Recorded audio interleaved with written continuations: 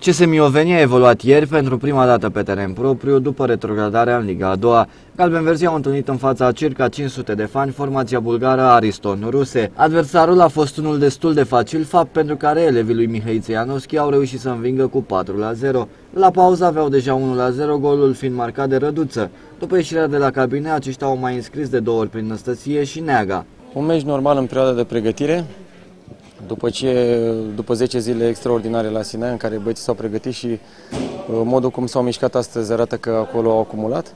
Dar este doar un joc de pregătire și nimic mai mult, un adversar, uh, un adversar modest. Sperăm ca în continuare adversarii să crească în valoare. Un meci de pregătire.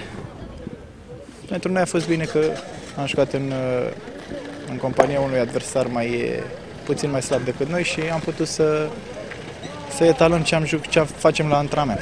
un pic este perioada de pregătire și este normal ca în acest moment să fim și puțin obosiți, dar una peste alta jocul a fost bun, joc de pregătire. În această săptămână, Galbenverzii ar trebui să mai joace trei partide amicale. În cazul în care startul de campionat se va amâna până la 1 septembrie, este posibil ca CS Mioven să mai efectueze un stagiu de pregătire.